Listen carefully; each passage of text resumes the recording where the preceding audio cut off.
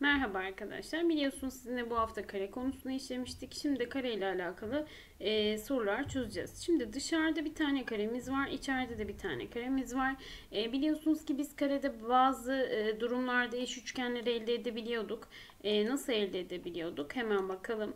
Şimdi burada arkadaşlar 90 derecenin olduğunu biliyorsunuz. Aynı şekilde şurada da 90 derecenin olduğunu biliyorsunuz. E, burası kare ise içerideki karenin bir kenarına şöyle es dersem ben Bakın bütün kenarları benim için S olacaktır. O halde şunu söyleyebilirim. Burası benim için tek çizgi, şey tek nokta olsun. Burası benim için tek çizgi olsun. E, benzer şekilde arkadaşlar tek çizgi ise burası tek nokta. E, burası tek nokta ise burası tek çizgi. Aynı şekilde burası tek nokta diye devam ettirdik. O halde biz şunu fark edebiliyor muyuz? Bakın 90'ın karşısında S var. 90'ın karşısında S. O halde bizim şu iki tane bakın biri bu biri bu. Bu üçgenlerimiz eş üçgenlerdir. Bakın dikkat edersiniz ki Tek çizginin karşısında 4 var. O halde burada da tek çizginin karşısında ne olmalı? 4 olmalı. 3, 4, 5 üçgeninden bir kenarın 5 olduğunu bulduk. Arkadaşlar bana içerideki karenin alanını istemiş zaten. Bir kenarı 5 ise o halde 5 çarpı 5'ten alan ne olarak gelecektir? Edirne olarak gelecektir. Devam ettiğimizde ise bir sonraki soruya. Şimdi bu soruda da arkadaşlar yine karenin kenarlarının 90 derece olduğunu zaten biliyoruz. Şimdi ben şöyle söylesem bu karenin bir tane kenarına S dedim. Bütün kenarları S olacaktır. Dikkat edersiniz. O halde burası benim için tek nokta ise burası benim için tek çizgi ise ben şunu söyleyebilirim. Tek nokta ile tek çizginin toplamı 90 derece. O halde burası tek çizgi olur arkadaşlar. Burası da nokta olur. E şimdi şunu söylüyorum. 90'ın karşısında S var. 90'ın karşısında S var. E o halde noktanın karşısında 6 varsa burada da noktanın karşısında 6 olacak. Sebebi de bunlar eş üçgenler. Bakın eş üçgenler dediğimiz üçgenler aslında tıpatıp birbirinin aynısı olan üçgenlerdir ki biliyoruz. O halde burada arkadaşlar Tek çizginin karşısında toplamda 8 oldu. E benim için bir şey ifade etmiyor ama 6, 8, 10 üçgeninden ben karenin dışarıdaki bir kenarını bulabilirim. O halde bir kenarı 10 arkadaşlar onun karesinden alan dediğimiz ifade de 100 olarak gelecektir. O halde cevabımız Edirne'dir. Gelelim bir sonraki soruya arkadaşlar. Kare dediğimizde e, ayağının 5 birim, ED'nin 7 birim olduğunu biliyoruz. E, EB için kaç birimdir diye sormuş. Öncelikle EB benden burayı mı istemiş arkadaşlar? Peki ben burayı nasıl bulabilirim? Öncelikle buna dikkat etmem gerekiyor. Şöyle bir hamle yapsak arkadaşlar. Bunu bu şekilde devam ettirsek ve şöyle bir şey söylesek. Şimdi burası benim için 5. Çünkü neden bunu yaptım? Dikkat edersiniz ki arkadaşlar 90'ın karşısına bakın bu kenar var. 90'ın karşısında bu kenar var. Aslında birbirleriyle eş olsunlar ki ben de şu bilinen kenarlardan yararlanmak istedim. Şimdi tek noktanın karşısında 5 var. Burası tek çizgi, burası tek nokta, burası tek çizgi. Tek noktanın karşısında 5 varsa arkadaşlar burası 5 olacak. Tek çizginin karşısında 7 varsa burası 7 olacak. O halde benden EB'yi istediği için bakın şu kısma dikkat edin. Burası 5, burası 12. O halde 5, 12 ne üçgeni vardı? 13 üçgeni var. Bakın bize EB kenarını istediği için cevabımız 13 olarak bulunacaktır. Yani ben bana verilen şekilde eş bir üçgen aradım. Böylelikle ikisi de 90 derecenin karşısına denk geldiği için karenin bir kenarı dedim ki bu üçgenler eştir arkadaşlar. Gelelim ABCD kare demiş. ABF doğrusal olduğunu söylemiş. AE 4 birim arkadaşlar. BF'de 2 birim olduğunu söylemiş. Şimdi alan ABCD kaç birim karedir diye soru bize vermiş. Öncelikle şöyle bir şey yapsak arkadaşlar. Buraya ben nokta desem. Buraya ben tek çizgi desem. E burası tek çizgiyle noktanın toplamı 90 derece. Burası nokta olacak. O halde e, toplamların 90 derece olabilmesi için burası da arkadaşlar tek çizgi olacak. E burası tek çizgi ise burası nokta. Burası da 90 derece biliyorsunuz. E ben şunu söylüyorum yine. E, biz burada bir eşlik elde edebilir miyiz? Buna bakacağım. E, şurası için şöyle söylesek arkadaşlar. Buraya ben A desem tek çizginin karşısında A, A var.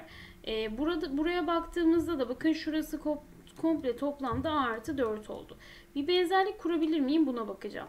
Şimdi zaten bana e, ABF'nin de doğrusal olduğunu söylemiş soru. O halde şunu söylüyorum. Tek çizginin karşısında A var.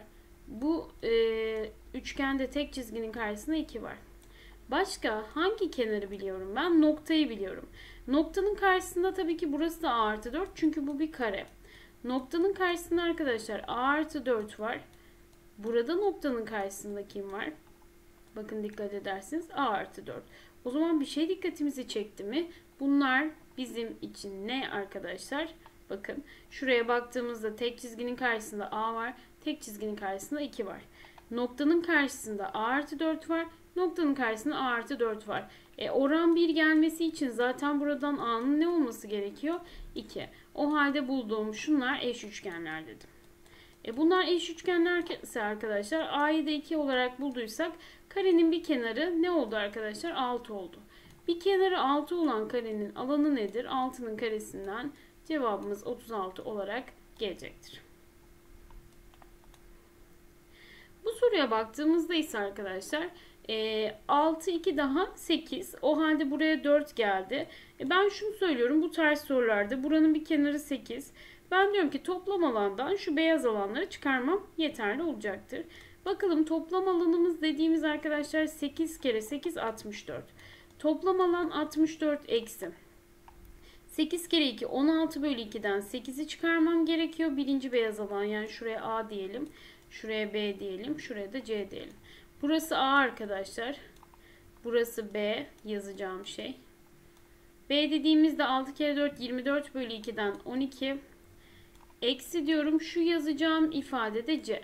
C dediğimiz ifade de arkadaşlar 8 kere 4 32 bölü 2'den 16. Bu ifadeyi yaptığımızda 24 34 36 64 eksi 36 ifadesi bana sonucu verecektir arkadaşlar. Buradan da ne geldi? 28 olarak geldi. Yani bana yeşil taralı alanı istiyor arkadaşlar. Ben diyorum ki bunu bulmaktansa ben e, komple toplam alandan şu beyaz alanları çıkarmayı tercih ediyorum. Bir sonraki soruya baktığımızda ise arkadaşlar şimdi örnek 20'de e, alan ABCD'nin kaç birim kare olduğunu bize soruda sormuş. Şimdi burada e, bir kenarını bulduğumuzda arkadaşlar zaten e, alana ulaşmış olacağız. Şimdi arkadaşlar bunda da şöyle bir şey yapmamız gerekiyor. Bunu böyle devam ettirdiğimizde ve şöyle yaptığımızda bakın burada bir 90 derecelik bir üçgenimiz oluyor arkadaşlar. Şimdi yukarısı 2 ise aşağısı da 2. Burası 4 ise burası da 4. O halde şurada ben bir Pisagor yaparsam bakın burası 6, burası 4. Pisagor yaptığımda burası kök 52 geliyor. Şimdi kök 52 dediğimiz ifade 13 çarpı 4'tür aslında. 4 de dışarıya şu şekilde çıkar. Şimdi bu ifadenin benden neyini istiyor? Alan ABCD. Şimdi arkadaşlar normalde bunun kök 2 katı mı bu aslında 45 45 90 üçgeninde. Yani bir kenarı arkadaşlar bir kenarı şudur üçgenin. O halde şey karenin. Bir kenarı buysa arkadaşlar e, bunun karesini almamız gerekiyor. Karesini aldığımızda dikkat edersiniz ki 4 çarpı 13 bölü 2'den cevabımız 26 olarak gelecektir. Şimdi arkadaşlar e, bu soruda ise ABCD kare olduğunu söylemiş. Bakın 20 derece ve 50 derece olduğunu vermiş. Aslında tamamen karede açı sorusu. E, şimdi burada 90 derece olması için buranın 70 derece olması gerekiyor. Bakın burası 50 ise buraya 40 kalıyor. Bizden x'i istemiş. O halde şuralar bakın kare olduğu için nedir? Buralar S olarak gösterdik. Bakın şurası zaten 70 70 100 40 olması gerekiyor. Çünkü e, üçgenin iç açıları toplamı 180'den. E burada ikizkenarlık geldi. Tepe açısı 50 ise arkadaşlar 180 olması için 130 gerekiyor ve 130'u da 65 65 şeklinde bölerler. E burası 65 ise arkadaşlar 90'a tamamlayacağız. E, geriye x'imize 25 derecelik bir açımız kalıyor. E, karede arkadaşlar karede açı testi. Açı soruları. Biz bu şekilde yapmış oluyoruz. Gelelim ikinci soruya baktığımızda ise AB'nin 15 birim olduğunu biliyoruz. Bakın burası da 15 birim. O halde buraya ne kaldı arkadaşlar? 7, 8 mi kaldı? Bakın 8, 15 hangi özel üçgen? 17 özel üçgen. Çünkü burası nedir arkadaşlar? 90 derecedir. DE'yi de biz 17 birim olarak bulmuş oluyoruz. Şimdi gelelim bu tarz sorulara. ABCD'nin bir kare olduğunu söylemiş arkadaşlar bize dikkat edersiniz ki. E, DE'nin 12 birim olduğunu söylemiş. E, EC'nin de 3 birim olduğunu vermiş soru bize. O halde ben şunu tamamladığımda bir karenin bir kenarı 15. Ben buranın e, 15 olduğunu biliyorum taban kısmının. O halde şurası 3, şurası 12 arkadaşlar. Burada dikkat edersiniz ki öklit var. 12 çarpı 3 36'dır. Neyin karesi 36? 6'nın. E, o halde arkadaşlar bir karenin bir kenarı nedir? 15'tir. O halde bakın burada 6 var. X'imize ne olarak kalacak? 9 birim olarak kalmış olacak. Dördüncü soruya baktığımızda ise arkadaşlar buranın 30 olduğunu söylemiş zaten. E ben şunu devam ettirdiğimde arkadaşlar burası benim için 90 derece. E 30 60 90 bizim çok iyi bildiğimiz bir üçgen bulduk. 90'ın karşısında arkadaşlar 8 varsa 30'un karşısında 4'tür. 60'ın karşısında 4 kök 3'tür. Şimdi o halde ben karenin bir kenarı arkadaşlar 5 artı 4'ten 9 birimi. E benden alanı istemiş. O halde 9'un karesinden alanımız ne olarak gelecektir? 81 olarak gelecektir. Cevabımız da Edirne'dir. Yedinci soruya baktığımızda ise kare olduğunu söylemiş arkadaşlar. 7 ve 17 birim olduğunu vermiş. Şimdi ben bunu köşegen olacak şekilde bakın tam ortadan böldüğümde 17 7 daha 24. 12 12 olarak ayırır. Bakın 5 12 olarak ayırdı. O halde arkadaşlar burası 90 derece. Dikkat edersiniz ki 12 12 muhteşem üçlü olarak da düşünebilirsiniz. Burası 12'dir. Şöyle bir üçgenim oldu aslında arkadaşlar. Burası 5, burası 12. Buraya ne kaldı o halde? X dediğimiz ifadeye 13 olarak geldi. Bakın özel üçgenleri çok fazla kullanıyoruz e, kare kısmında. O yüzden iyi bilmemiz gerekiyor. Gelelim arkadaşlar bu tarz sorulara şimdi 8 verilmiş, 4 verilmiş taralı bölgenin alanı. Şimdi 8 ve 4 arkadaşlar burayı 4 4 olarak mı bölecek? Şimdi dilediğiniz gibi çözebilirsiniz. Ben şöyle bir bölmeyi tercih ettim. Şimdi normalde bu karenin alanı arkadaşlar şurası 4 4 dedik ama 8 4 12 6 6. Şurası 6 6 olacak arkadaşlar. Normalde bu karenin alanı 12 çarpı 12'den 144. Peki bunun yarısı da 72. O halde şu yarısına 72 düşerse arkadaşlar 36'ya 36 düşecek. Neden? Çünkü tabanlar eşit. E buraya da 72 düşecek. Ben diyorum ki şuraya 8K desem buraya 4K desem. E toplamda 12K'ya 72 düşeceğine göre arkadaşlar 12K'ya 72 düşerse K'ya 6 mı düşer? Burası 48 olacak. E benden aslında soru bitti. 48 ile 36'nın toplamını istiyor. İkisini topladığımızda arkadaşlar 84 olarak bulmuş oluyoruz. Yani e, toplam alandan yola çıktım. Toplam alanı 144 buldum. Toplam alanı 144 bulduktan sonra arkadaşlar yarıya böldüm. Dedim ki yarısı bunun 72'dir. 36 36 olarak paylaşır. O halde dedim burası da aynı şekilde 72'yi paylaşacak ama dikkat edin tabanlar farklı olduğu için tabanlarla orantılı yazdım alanları. Böylelikle yeşil olan alanı 48 birim olarak buldum. 48 ile 36'nın toplamı da bana toplam yeşil bölgenin alanını vermiş oluyor. Şimdi arkadaşlar bir sonraki soruya baktığımızda ise bakın kelebek gördük direkt soruya baktığımızda. 6'ya 12 kelebek kuralı bize şunu söylüyordu. Dikkat edersiniz ki 6'ya 12 1'e 2 oran yani burası k ise burası 2k. O halde karenin bir kenarı 2k ise arkadaşlar zaten bir kenarı 18. K'ya 2k söylememize gerek bile yok. O halde şöyle tekrar yapalım. K'ya 2K söylememize gerek yok arkadaşlar. Burası 18. E burası 18 ise buraya da 9 düşecek. bizden EB'yi istemiş arkadaşlar. EB dediğimiz ifade şuranın tamamı. E burası 18 ise arkadaşlar 18'e 9 eklendiğinde 27 birim olarak bulmuş oluruz. Bir sonraki soruya baktığımızda ise arkadaşlar şimdi bunun dikdörtgen olduğunu söylemiş AEFG'nin. Bakın dikdörtgen burası 2 birim. E, ABCD'nin kare olduğunu söylemiş. DG dediğimiz yer 2 birim. O halde şuraya 4 birim kalacak. Burası 4 birim olacak. Burası 2 birim olacak. Şurası 6 birim olacak. Peki benden alan ABCD yani buranın alanı ne arkadaşlar alan bak baktığımızda 36'dır alan. O halde alanı 36 bulduğumuzda kime eşitmiş? Alan AEFG. Yani bakın AEFG'nin alanına eşit. Yani 36 dediğimiz alan bunun alanı dikdörtgenin alanı dikkat edersiniz ki uzun kenar çarpı kısa kenar. Yani 6 artı x çarpı arkadaşlar 4. E buradan 4 ile 36'yı sadeleştirdiğimizde 9 gelir. Buradan da arkadaşlar 6'ya ne eklerseniz 9 olur. 3 x dediğimizde bizim 3 birim olarak gelecektir. Cevabımız Ceyhan. Şimdi arkadaşlar bir sonraki soruya baktığımızda ise e, burada bize 6 kök 2 yani şuradaki içerideki karenin bir kenarının 6 kök 2 olduğunu vermiş soru bize. AE dediğimiz ifade 2 birim. Bakın bu kısım 2 birim. O halde ben şöyle bir şey söylesem. Bakın burası dikkat edersiniz ki normalde karenin bir kenarı 6 kök 2. Burası da 6 kök 2.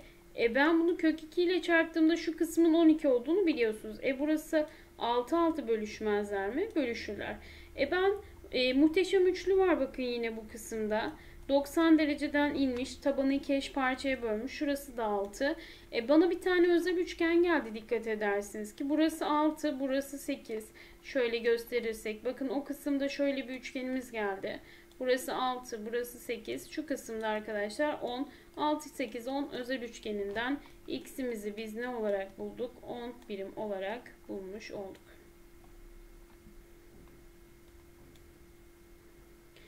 Dördüncü soruya baktığımızda ise AE'nin 3 birim. Şimdi karenin bir kenarı 9 birim. O halde burası da 9 birim, burası da 9 birim. Şimdi ben şunu söylüyorum. AF'nin kaç birim olduğunu sormuş soru bize şu kısmı. Şimdi AF'yi bulabilmek için bakın bizim şu BF kenarına ihtiyacımız var. E, şuradaki bir 90'dan yararlanmamız gerekiyor arkadaşlar. Şimdi burası 90 derece. Ben şimdi şuraya alfa de, nokta dersem şuraya çizgi dersem arkadaşlar burası benim için ne olacak? Nokta. Burası benim için çizgi. Aynı şekilde burası benim için nokta. Şimdi bir benzerlik kurabilir miyim acaba? Ben diyorum ki burada 6 3 daha 9. Noktanın karşısında kim var? 9 var. E burada da noktanın karşısında 9 var. Arkadaşlar o zaman bunlar eşittir. Tek çizginin karşısında 6 var. Tek çizginin karşısında 6 var. Arkadaşlar zaten e, soru bitti. 90'ların karşısı da şöyle eşit olmak zorunda. O halde AF'yi istemiş bizden. AF dediğimiz ifade arkadaşlar 9 ile 6'nın toplamına eşit olacaktır. Yani cevabımız 15 olarak bulunur. Beşinci soruya baktığımızda ise GB'nin 8 birim olduğunu söylemiş. Bakın şurası 8 birim. Şimdi alan ABCD ile AEFG karesel bölgelerin alanları toplamları.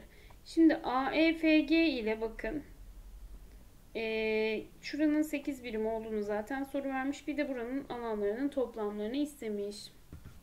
Şöyle bir ifade yaptığımızda arkadaşlar burası A birim olsun. Burası A birim olsun. Burası B birim olsun. Şimdi ben e, şuranın 8 birim olduğunu biliyorum. O halde A kare artı A artı B'nin karesinin 8 birim olduğunu biliyorum. Şimdi o halde şöyle söylesem bir kenar A artı B ise şuralara da B kalır arkadaşlar. Burası zaten A artı B. Bizden istediği alan aslında ABCD'nin alanı bakın dikkat edersiniz ki ABCD'nin alanı aslında A artı B'nin karesidir. Ee, bununla e, dikkat edersiniz ki şu küçük alanın toplamını istemiş. E arkadaşlar zaten bunun toplamı da yine ne gelecektir? Alanları toplamı. Bakın dikkat edersiniz ki. Şurası arkadaşlar 8'in karesi. Bakın dikkat edersiniz ki aynı geliyor. O halde cevabımız 64 olarak bulunacaktır. Bakın istediği şeyle aslında şurada verdiği ifadeyi Pisagor yaptığınızda aynı şeyi sorduğunu göreceksiniz. Altıncı soruya baktığımızda ise ABCD bir kare. O halde karenin bir tane kenarı 6 artı x'tir. Bu benim için açıortay.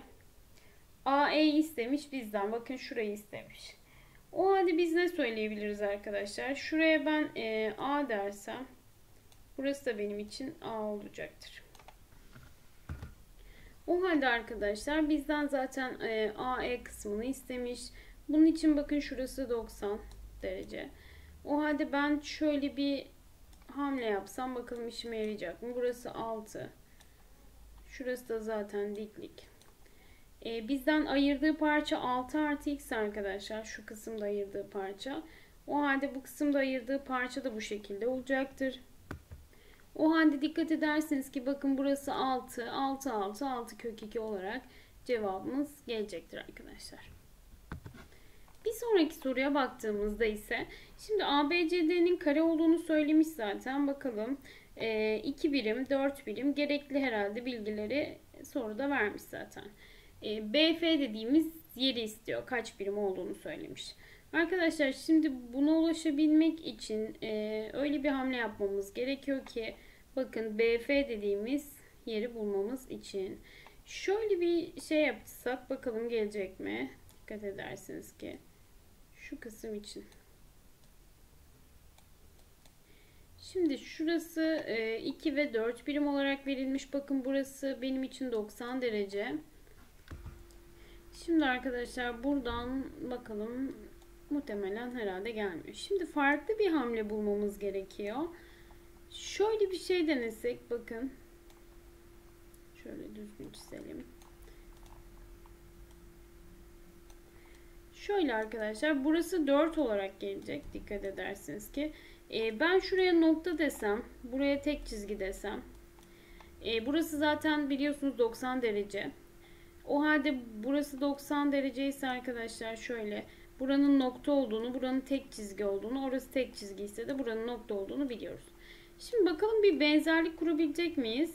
E, baktığımızda 90 derecenin karşısında karenin bir kenarı var. E burada da 90 derecenin karşısında. O halde bunlar arkadaşlar eş. Eş olduğunu bulduktan sonra aslında soru bitti. Şimdi tek çizginin karşısında 6 var. O halde burada da tek çizginin karşısında 6 olacaktır. E, noktanın karşısına arkadaşlar burada noktanın karşısına 4 var. Burada da noktanın karşısına 4 olacaktır. E, burası 4 ise arkadaşlar şu kısım da 4. Bizden toplamlarını istemiş. Biz ne olarak bulabiliriz? 10 olarak bulabiliriz. Gelelim arkadaşlar ikinci soruya. Şimdi 8 e, ve 2 birim olarak e, söylemiş soru bize. GF dediğimiz x kaç birimdir? E, şimdi bizim x'i bulmamız gerekiyor. Şimdi arkadaşlar bizim şöyle bir özelliğimiz var. Bakın şurada bir öklit var. Öncelikle bir ökliti yazalım. 8 kere 2 16 olduğu için burası 4'tür arkadaşlar. Eğer şunlar dik kesişmişlerse bunların toplamları birbirlerine eşittir. Yani 8 ile x'in toplamı arkadaşlar 4 ile x'in toplamına eşittir. 8 ile 2'nin toplamı 10 geldi. O halde x'imize ne kaldı arkadaşlar? x dediğimiz ifade 6 olarak gelecektir. Bakın yaptığımız tek şey şu kısımda bir öklit yaptık. Öklitten sonra da biz aslında e, bu kuralı uyguladık. Toplamlarının birbirlerine eşit olması gerektiğini söyledik. Bir sonraki soruya baktığımızda ise bu da arkadaşlar katlama sorusu. Alanı 16 birim kare olan ABCD karesi yani bir kenarı 4 birim. E, AE ile EB eşit olacak şekilde bakın şunların eşit olacak şekilde o halde şurası 2 şurası 2 AB kenarı üzerinde E noktası işaretlenerek e, DE boyunca katlandığında A noktası K noktasına gelmektedir. Bizden X'i istemiş. Bakın katlama olduğundan dolayı biliyorsunuz ki şurada bir açı ortaya oluşuyor. Zaten bir kenarının 4 birim olduğunu biliyorsunuz. Burası x arkadaşlar. Burası 4 eksi x'tir. O halde burası da aynı şekilde 4'tür. Bizden x'i istiyor zaten. Bakın şu kısımda e, şurası 90 derece. Katlamadan dolayı şuranın 4 olduğunu biliyoruz. Bu kısımda arkadaşlar eşit olduğunu biliyoruz. E, o halde şurada bir Pisagor yaparsak 4'ün karesi bakın 4'ün karesi artı 4 eksi x'in karesi eşittir 4 artı x'in karesine.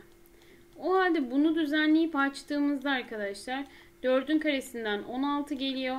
4 eksi x'in karesi dediğimiz ifade 16 eksi 8x artı x kare eşittir. Karşı tarafı da açtığımızda x kare artı 8 tane x artı 16. Bakın şuradan x kareler birbirlerini götürsünler. 16'lar da aynı şekilde. Buradan eksi 8x'i karşı tarafa attım. 16x eşittir. 16 oldu. X'imizi de biz buradan 1 olarak bulmuş olduk. O halde cevabımız Bursa'dır arkadaşlar. Bir sonraki soruya baktığımızda ise e, dördüncü soruda ABCD karesi şeklindeki bir arazinin kenar uzunluğu 8 ve bu kısmı için 1 olduğunu söylemiş. E, bu arazinin D köşesinde bulunan bir karınca AB üzerinde P noktasına uğrayarak E noktasına gidecektir. Karıncanın alacağı en kısa yol kaç metredir diye sormuş. Arkadaşlar şimdi alacağı en kısa yol dediğine göre burası 8 ise şurası 7 birim. Şimdi ben şöyle bir şey söylesem. Buradan buna simetri olacak şekilde EB'ye şöyle bir çizsem. Alacağı en kısa yol şu olur arkadaşlar. E, burası 7 birimse burası da 7 birimdir. E, benden aslında şurayı istemiş. Şuraya G desek. DG arasını istemiş arkadaşlar. E, buradan da 15 bu kısım. Bu kısımda 8. 8 15 ne üçgendir arkadaşlar? 8 15 17'den dolayı cevabımız Bursa olarak gelecektir. O halde arkadaşlar bir sonraki soruya baktığımızda ise 5. soruda bir kenar uzunluğu A birim olan kare 11'i eş toplam 12 e, kareye ayırıyor. Şimdi elde edilen büyük kare K1 olarak adlandırılıyor ve daha sonra K1 karesi de benzer şekilde ayrıldığında K2 karesi elde ediliyor. E, K2 karesi de benzer biçimde ayrıldığında K3 karesinin kenar uzunluğu 125 birim olduğu görülüyor ve A'nın kaç olduğunu sormuş soru bize. Bizden istediği K3 için arkadaşlar bunu devam ettirirsek şöyle aslında şu ortada kalan alan K3 olacak. Bakın şurayı da şöyle devam ettirdiğimizi düşünelim. Bizden de zaten K3 karesinin bir kenar uzunluğunun 125 birim olduğunu söylemiş. Bakın şu kısımda ne olarak gelecektir? 125 olarak gelecektir. Bakın şunları düzenlediğimizde 2, 3, 4, 5, 6, 7, 8, 9, 10. Biliyorsunuz ki 250'yi arkadaşlar 10'a böldüğümüzde bir tanesi 25 olarak bulunacaktır. O halde biz şu dıştaki şekile baktığımızda bakın 1, 2, 3, 4, 5, 6, 7, 8, 9, 10, 11, 12. O halde 25 ile 12'yi çarptığımızda arkadaşlar şöyle 300 olarak gelecektir. Benden de A'yı istemiş. O halde bakın şurayı biraz daha temizlersek K2 dediğimiz ifadenin aslında bir kenar uzunluğu ne oldu arkadaşlar? 300 olarak bulduğumuz için 150 olarak geldi. Bakın burada yine 150 150 300 oldu. E yine bunların kenarlarını topladığımızda arkadaşlar 10 tane kare var. 300'ü bu kez 10'a böldüğümüzde bir kenarının uzunluğu 30 olarak geliyor. Dışarıda da bakın e, buradan 12 tane var yine aynı şekilde. 30 çarpı 12'den arkadaşlar burası 360 olur. O halde K1 için şunu söyleyebiliriz. Bir kenar uzunluğu 180 olur. Şurayı şöyle sildiğimizde. Bakın şunu bir kenar uzunluğu 180 olur. O halde şu kısım da 180. Bu kez 360'ı neye bölüyoruz arkadaşlar? 10 tane kare olduğu için ona bölüyoruz. Bir kenar uzunluğu 36. O halde bir kenar uzunluğu 36 ise buradan arkadaşlar 12 tane var yine kenarlarda. 36 çarpı 12 yaptığımızda